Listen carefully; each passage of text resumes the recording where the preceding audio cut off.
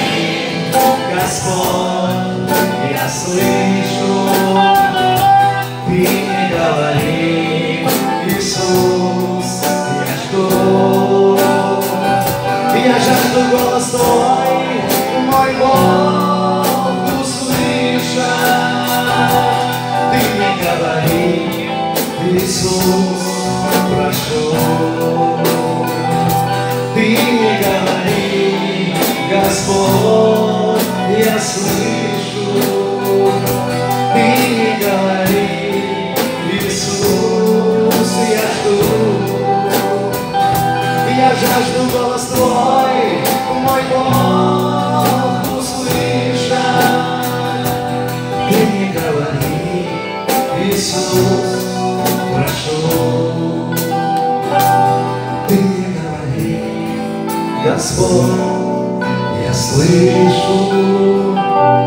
Ты мне говори, Иисус, я жду. Я жажду голос Твой, мой Бог, услышать. Ты мне говори, Иисус, прошу.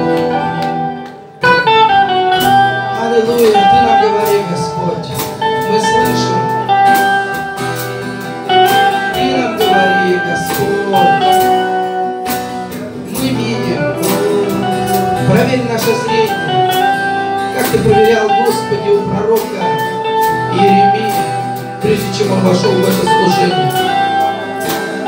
Чтобы нам услышать. Ты правильно видишь. Ты правильно слышишь. И как ты говоришь, я каждое утро влагаю слова мои в уши твои.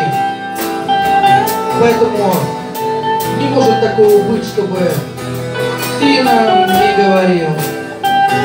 И не может быть такого, что мы не услышали. Мы можем только прослушать. Поэтому мы не хотим пропустить от Тебя ничего, Господь. Ты мне говори, Господь, я слышу, Ты мне говори,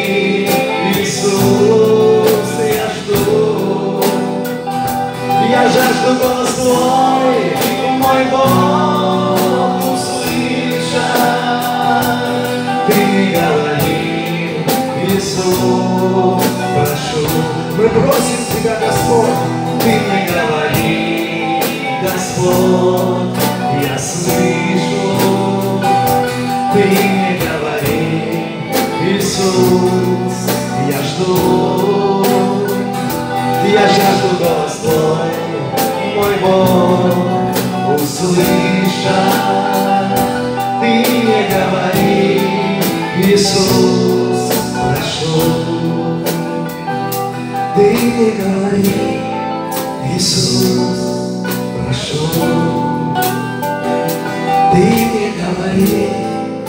Иисус,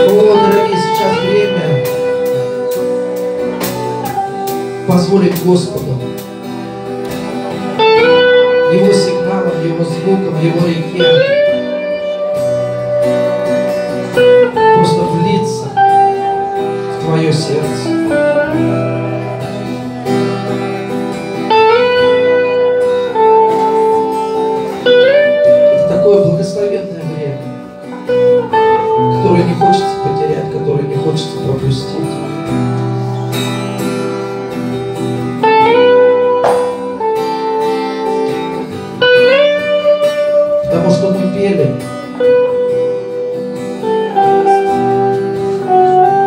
Ты нам говори. Мы попросили.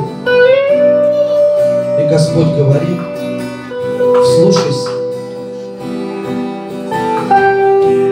Пусть открыты наши будут души, пусть открыты будут наши сердца. Потому что прямо сейчас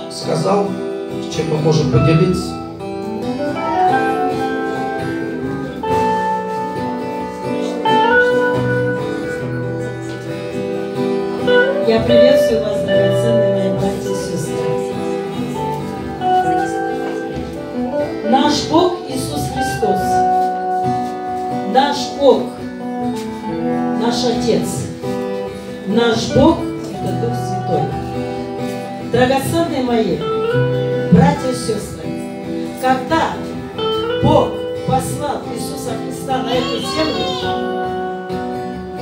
Иисус наш Бог, Он творил чудеса и знамения.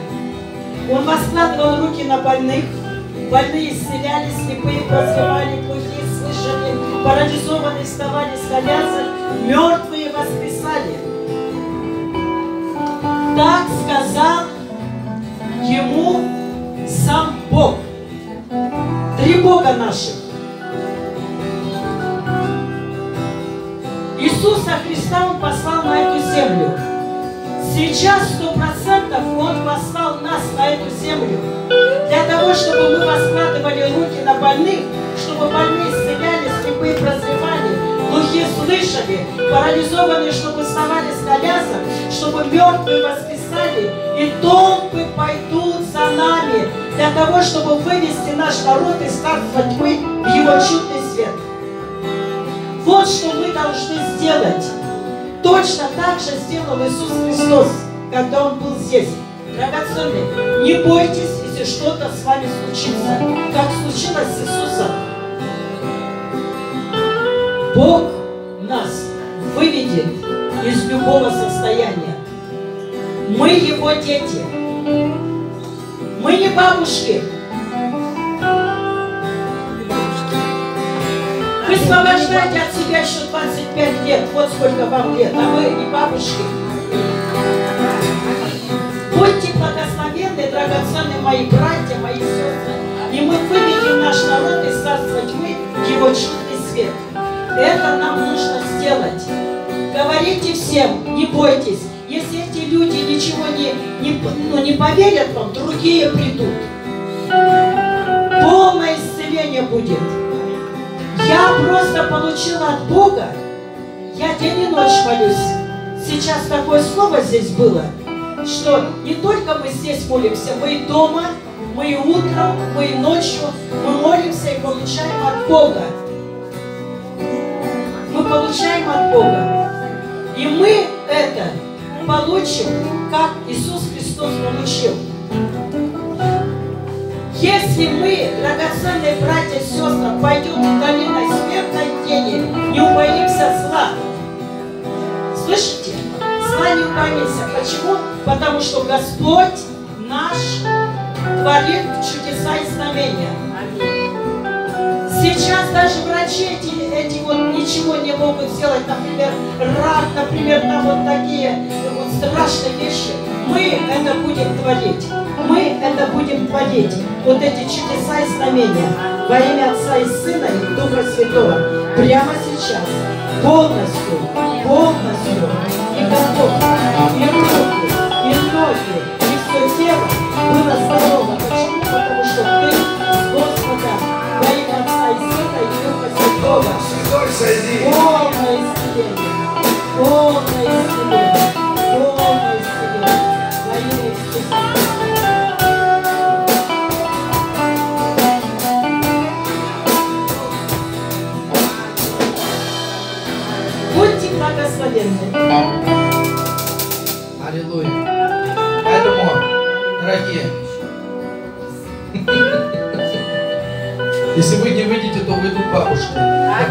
Бабушки.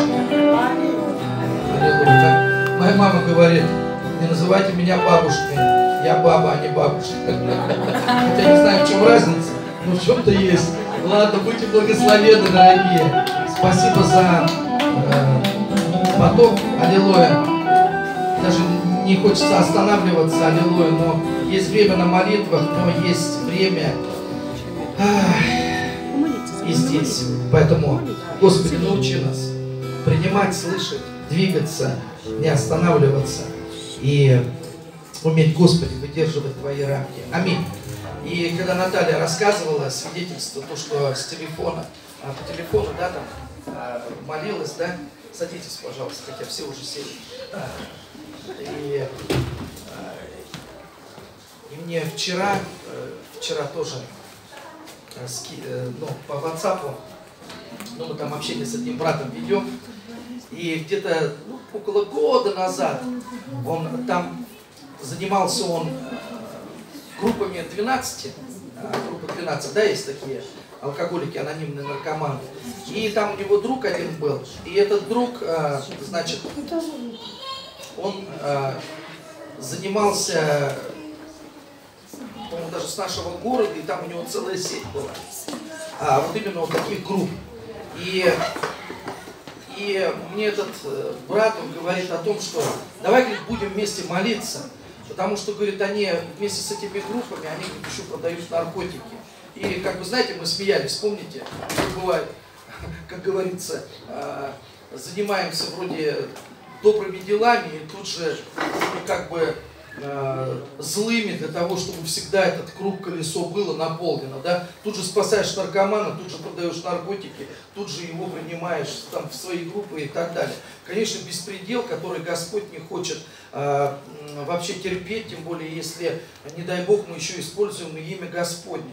И вот мы с ним молились, а, ну, как Господь вел, и а, вот буквально вчера, а, вчера, позавчера мы общались, а вчера он говорит, слушай, говорит, а, представь, говорит, у него все рухнуло, короче. Вся вот эта сеть, которая была завязана с этими структурами, все рухнуло. А он сам а, а, дипломированный психолог. А вот так у нас это сегодня, сегодня, вчера, а, вчера суббота была, пятница, как раз Екатерина свидетельствовала, рассказывала о психологах, да, вот такое, но а, психологам оказывается тоже, ну, оказывается, да, нужен Бог. И когда все рушится, и он говорит, я говорю ему, а, потому что, говорится, его, говорит, он к Богу вести, говорит, представь, он все знает, там, психологические ходы, выходы, манипуляции, и все остальные моменты, тоже зависит от сердца человека, и у каждого в этом отношении без Бога свой уровень, и он принимает у меня, говорит, молитву, покаяние, А, помогите, пожалуйста. И, и это, и принимает молитву, и человек покаялся, говорит, я, говорит, знаешь, ну, казалось бы, все знал, просто так все рухнуло, и плачет, рассказывает. В общем, дай Бог, что так все произошло, а, а не хуже, потому что а, могло бы закончиться вообще, а, вообще все печальным образом. Ну вот, драгоценные, и а, вчера мы тоже были на служении а, в Инском, а, такое присутствие Господа было, и как раз поднялась такая тема на Иосифа, и я вчера а, такое у меня проскочило, как, э, ну как бы сказать, Дух Святой, он где-то а, ну, ведет, где-то останавливает, ну, как некое такое продолжение, которое я просто почувствовал, мне надо сказать сегодня, на, вот на вечерю Господню, на этот день, а, в который мы собрались для того, чтобы принять Его тело и принять Его а, кровь. Аминь. И вы все знаете историю Иосифа. Аминь. Да. Историю Иосифа.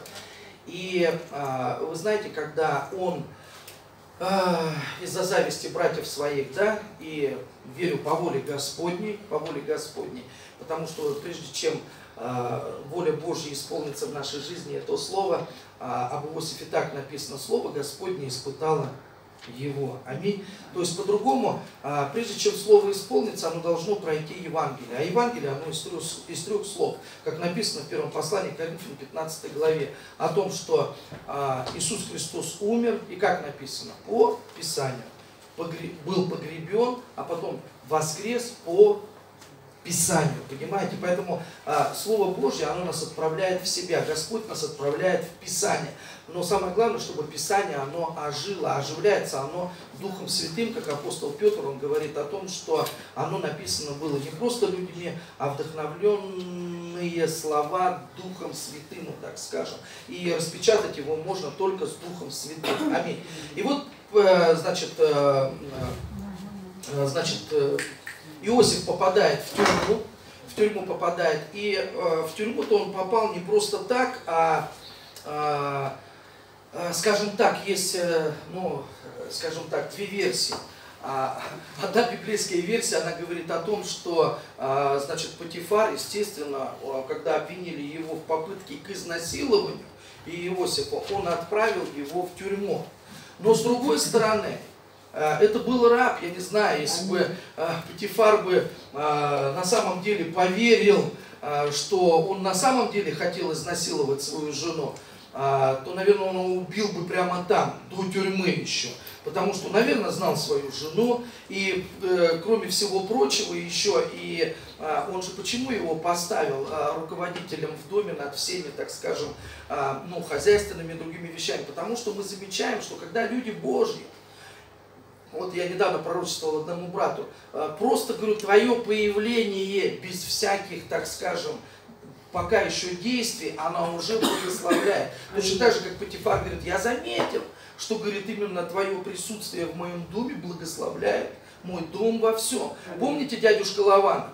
который, а, значит, э, сказал, я, говорит, заметил, говорит, что Яков через тебя все растет, все благословено. Почему? Потому что мы с вами, значимые люди, мы должны с вами помнить о том, что а, с нашим присутствием вся атмосфера меняется, понимаете? Потому что а, бывает же так, когда вы замечаете, кто-то заходит, допустим, в комнату, и в зависимости от того, какой дух с ним приходит, бывает, э, ты чувствуешь дух контроля, дух манипуляции или какой-то негативный дух. И вы понимаете, если ты это чувствуешь, что, а, может быть, даже без а, а, громких слов, но внутри разрушай во имя Иисуса Христа. Аллилуйя, потому что это мы несем запах благоприятный пускай тебя боятся, а, пускай бесы просто, они ну, щемятся и убегают а, с этих комнат.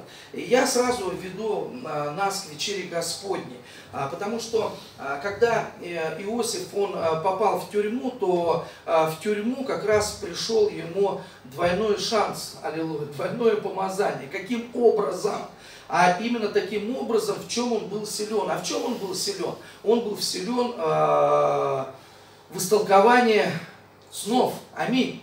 И э, что это за два помазания, что это за два шанса? А к нему в тюрьму попали хлебодар и виночерпий. Один, так скажем, для одного позитивно все окончилось, для другого достаточно негативно э, все исполнилось. И вот Иосиф как раз он а, но выдержал такой экзамен. Почему? Потому что когда он пророчествовал хорошие вещи виночерпию, то есть искушение хорошие вещи пророчествовать и хлебодару, дорогие. Потому что, в принципе, пророчество, ведь это а, увещание, назидание – такое благословение. Аминь. Но есть слова от Господа, которые также нас предупреждают о каких-то вещах, которые нам в благословение. И тем более он тоже был-то кто? Он просто был раб, да еще и в тюрьме, да еще у него статья была, попытка к изнасилованию. Понимаете, а, какая проблема вообще в тюрьме могла быть? И там он тюрьму эту возглавил. Вы понимаете, почему? Потому что Господь был с ним, точно так же, как с Даниилом, когда он был среди львов. И вот, понимаете, вот с такой статьей, вот с такой статьей, а, давайте вот сейчас вот вернусь к этим вещам, вот мы, давайте на себя это все примерять будем. Вот, понимаете, так обидно, так обидно. Он вроде бы все-все делал для дома. И в конечном итоге вот на него просто глаз положила жена Патифара. И э, не просто она, э, как бы сказать, наклеветала на него. Она же там еще и за одежду зацепилась. Он вообще голый убежал полностью убежал голый, лишь бы не согрешить. И вы понимаете, в глазах людей, в глазах людей, это, ну, это большая проблема. А, тем более в доме Патифара, тем более ты раб и так далее. А что можно сделать? когда тебя раздели. А что можно сделать, когда тебя, знаете, всегда есть прямо, а, как бы сказать, такая, буду защищать себя. Как будешь защищать, если Бог, допустим, это же надо у Господа спросить, а каким ты образом защищать себя будешь? Тем, теми же самыми вещами, которыми тебя раздевали, теми же самыми вещами, э, как говорится, ответные удары такие какие-то наносить. И вы понимаете, он полностью голый. И вот когда мы смотрим, когда Иисус Христос родился, его а, ну, там на восьмой день да, а, привели в храм, и а, значит, пророк ему э, Захария, да, пророчествовал о том, что, ну, родителям пророчествовал, сей лежит, нападение, на восстание, в предмет пререкания, тебе само оружие пройдет душу. И нам так не хочется, чтобы ты был в предмет пререкания. Так хочется, чтобы о нас всегда хорошее что-то говорили. И я, я хочу просто сказать, за что ты переживаешь? Я помню, когда э, было время, э, ну, я не знаю, в мое время, ну, было, как бы так сказать, когда я поступал в институт, а, но какое слово-то подобрать? Ну, недостойно, а, но, но круто, ну, ладно, круто скажу. Поступить в институт. Почему? Потому что, по сути дела, если ты а, поступал в институт, тебе не важно, куда там, может быть, на куличке куда-то и так далее, давали распределение, но ты, диплом шел впереди тебя, вот так скажем. А тем более, если у тебя были какие-то связи, то а, они были, а, то тебя могли, ну, как бы сказать, устроить на хорошую работу. И я помню, у меня отец тогда сказал, ну, говорит, тогда было время такое, э, значит, э, хотел все, говорит, это разряд получить, чтобы больше денег давали. А кто-то пожертвовал и взял время просто закончить технику. И вот у нас на Беловской ГРЭС мастера это были очень ну, достойные люди, просто даже мастером пойти вот на тот момент. И, я помню, когда поступил в институт, и прямо, знаете, я просто чувствовал, как, а, допустим, ну, со знакомыми взрослыми, э, там, друзьями, товарищами, моих родителей спра э, там спрашивали они, ну что, а, поступил? Я говорю, ну да, поступил. В техникум, наверное, поступил? Я говорю, да нет, в институт поступил а, это было престижно. И, и такая, да, ну, как бы, знаете, это как, как определенная такая, как бы зависть, или чтобы хуже сделать, как я вот э, с одними еду, а, тоже такой смешной случай был, а, ну вот не так давно, когда вот приехал, когда дом купил, и а, едем на машине, я говорю, ну давай покажу, вот мой дом, подъезжает там, а у друга моего одноэтажный дом, и он, он значит, тут это дом? Ну, одна, я говорю, да нет, вот этот, я ж машина заглохла. И, и, и даже машина не выдержала. И думаю, господи, мы как э, э, любим радоваться э, но приобретению на других прям с такой радостью, чтобы это...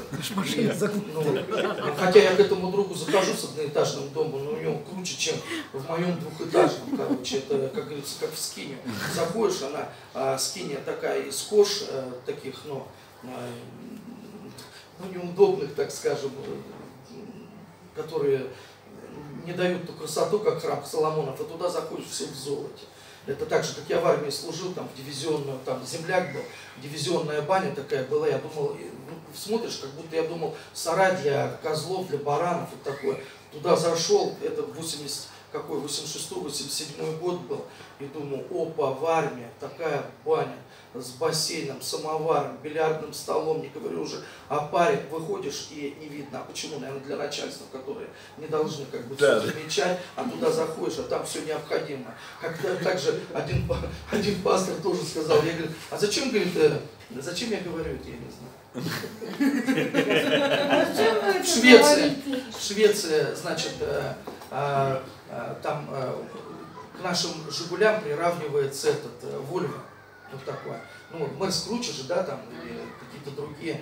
Но зато, говорит, это, ко мне, говорит, в Вольву заходишь, там, говорит, э, э, там Мерседес, говорит, отдыхает, что внутренне там, ну, ли не вертолетная установка поставлена, для того, чтобы людей не соблазнять. И вот просто смотришь, а может быть и правда нам вырасти надо, допустим, к примеру, э, Игорь что-то приобретает, ему слава Господу Богу. Да, как на Кавказе да. говорит, там свадьба, они говорит, просто приезжают, заставляют э, багажник открыть, и Да. друзья, знакомые, Знакомиться. родственники э, подходят и туда просто Да. деньги кидают.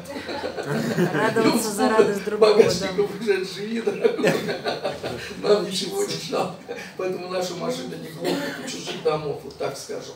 И, ну, я что хотел в этом сказать, дорогие, мы, если мы на самом деле верующие люди хотим пройти весь путь библейский, который нам предназначен, то мы пройдем через падение, восстание. Я не говорю о падении э, греховных, хотя и они такие бывают, но есть шанс. Но ты пройдешь через падение, восстание, э, ты будешь в предмете пререканий. Аллилуйя. Поэтому заботься о том, как Иосиф заботился. Не то, что он голый перед людьми остался, или там Ной, которого раздел, его сын Хам и так далее. А заботься о том, чтобы там ты в глазах Господа был одетый. Аминь. Аллилуйя. Потому что он все равно знает, что ты раздетый. Аминь. Какие бы ты фиговые листы, но а, какими фиговыми листами как бы ты не прикрывался. Поэтому, подходя к вечере Господней, мы также должны помнить об этих вещах. А на кого ты больше смотришь, на Господа или на мнение людей? Аминь. Потому что я к чему говорю?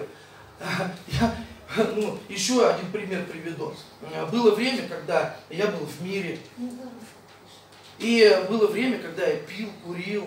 И помню, после очередного такого моего концерта, я помню, выхожу э, на улицу, думаю, о, Господи, не увидеть, видела меня кто-то или не видел такое. А потом внутри себя принимаю, да, что бы ты ни сделал, а тебе уже плохо говорили. А тем более, когда увидели, когда ты плохо делаешь, они просто в ладоши хлопают и, и говорят, о, э, нормально, как мы о нем думали, так все с ним и происходит. Э, Поэтому не давай радоваться людям. А, Пускай поднимается, пускай ревнует а, о том, что он, что он еще живой, что ли. Не умру я, но буду жить в истине. В тесноте я возвал. Он услышал меня, окружили и сильно толкнули меня. Но Господь поддержал, Он защита моя.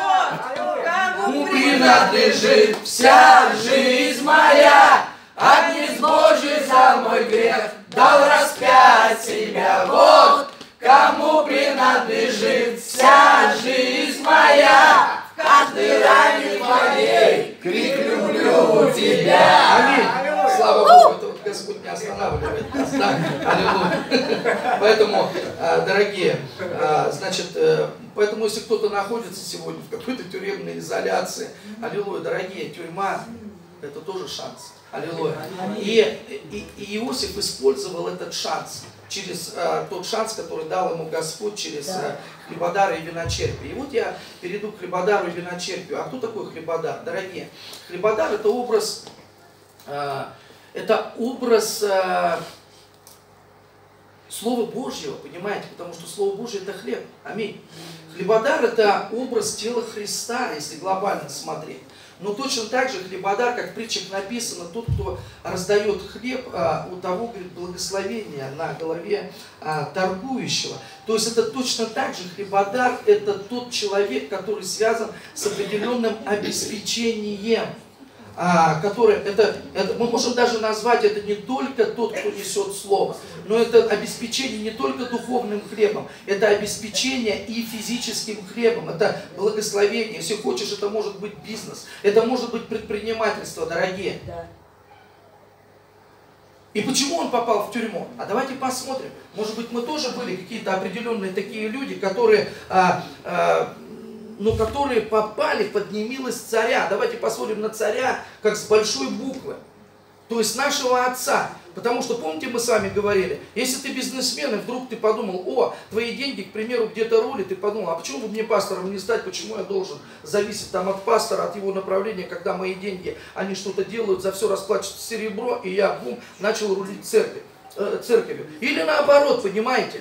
Пастор подумал, у него там с деньгами что-то складывается нормальным образом. И он раз переходит, а почему бы мне бизнесом не заняться? И вдруг, когда мы попадаем не в те тарелки, смотришь, вроде бы там слово потерял, там бизнес потерял, там с дорожки со своей ушел туда, куда а, тебе не нужно было идти. Поэтому а, хлебодар, он, понимаете, как, ну, я не знаю, может быть, он подумал, из-за того, что я всех кормлю, то, понимаете, вокруг меня все и крутится. Но, понимаете, здесь связка должна быть. Вот мы вчера говорили о связках а таких э, двоих-троих, э, через которые происходит благословение. Эта связка была, и к нему не просто же ведь попал хлебода, к нему попал и виночерпий. А кто такой виночерпий? Виночерпие, с одной стороны, это как прообраз крови Иисуса Христа. Но с другой стороны, помните, когда они в Деяниях во второй главе вышли пьяные все от вина Духа Святого? Это прообраз Духа Святого. Поэтому, когда мы смотрим в нашей жизни, должно быть вот именно составляющая хлеба и вина.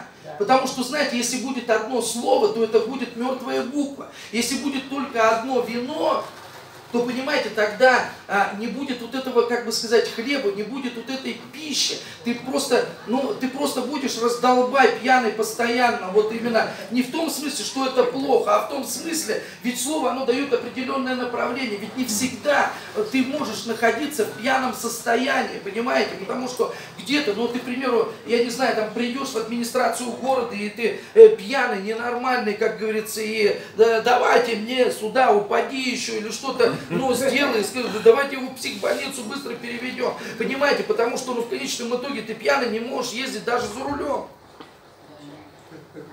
То есть, э, да, некоторые говорят, Господи, как я доехал? С одной стороны, да, ты доверяй, но Господу, но иногда, понимаете, Бог дает он тебе и трезвость в отношении некоторых вещей. Бывает он, как он говорит, будь холоден, либо горяч. Иногда ты горячий, иногда ты холоден. Я имею в виду в позитивном смысле этого слова, не только вопросы спасения. Поэтому для всего у тебя есть определенное помазание. Какое помазание? С одной стороны тебе кажется, о, я сейчас хочу, чтобы у меня там мурашки по коже двигались. А почему сейчас, к примеру, вот прямо сейчас исцеления чего-то нету? Ну потому что сейчас помазание сидеть и слушать проповедь. А помазание на исцеление, оно будет на улице. Помазание на спасение, оно где-то будет на улице. Поэтому нужно чувствовать, как Господь двигается. И вот в его камеру приходит хлебодар и э, виночерпий.